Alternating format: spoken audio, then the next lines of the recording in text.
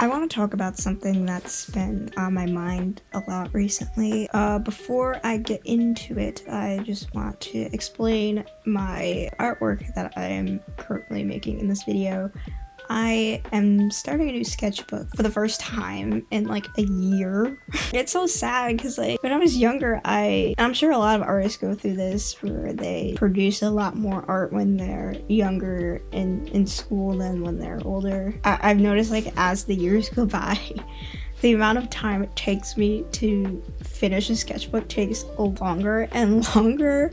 It's not because I don't like drawing and sketchbooks or anything. I think it has a lot to do with what I want to talk about, which is the art of over planning. I don't know if this has anything to do with being a perfectionist per se, but I think I, I've become one of those people that have fallen into the trap of feeling like I'm never prepared enough for a task there's never a moment where I feel like I'm ready to do something and I use it as an excuse to hold off on a project that I want to work on. And I think that I'm being productive in doing it, but in reality, I'm just wasting time. For example, like I love watching productivity videos, especially like at the beginning of the month where people discuss their goals and the outlines for how they're going to complete their tasks and then they break them down into mini goals and they have like this whole structure and I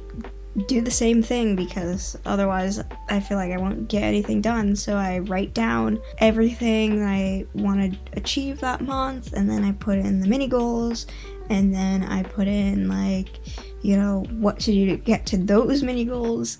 And what I've realized is I spend more time planning my workout than actually just sitting down and getting it done. I, have gotten to the point where it's just like, it's frustrating to me because planning things in itself is already a lot of, of work. It, is for me. Like, I'll spend a good one to two hours planning out my day. And then by the time I'm done doing all that, I'm just like exhausted from just thinking about what I'm gonna do that I just don't even do it. So I think that this year I want to stop doing that. At the end of the day, nothing is perfect. Nothing is ever going to be exactly aligned with my original idea, so I might as well just dive in and do it. That's literally what I, I decided to do with this voiceover. I have been holding off on, on recording this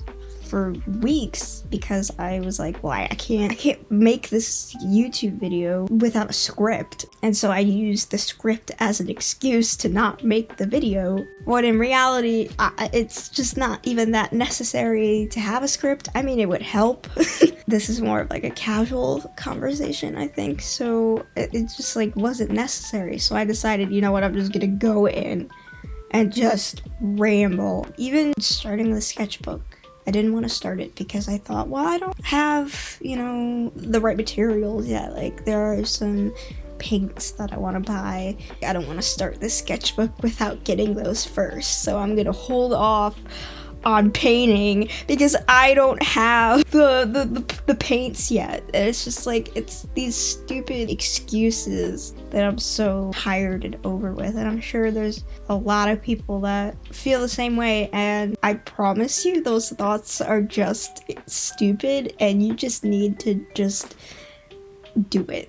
Otherwise, you're gonna be I, you're gonna be stuck in planning limbo like I tend to be all the time, and it's just never you're never gonna get it done. I don't think there's anything wrong with planning. It should be like 20%, 30% planning, and then 70, 80% actually doing the work because just because like those goals are written down or the things the tasks you want to complete are filled out doesn't mean they're gonna get done until you actually get the motivation and the momentum to do it and so i'm i'm trying this year to spend more time actually doing instead of planning. To be truthfully honest, I haven't even filmed the portion, the visual portion of this video, so I don't know what's gonna be on screen. All I know is I'm gonna get my ass up and I'm gonna start this sketchbook, and I don't care what's on the page, I just want to put something on the page.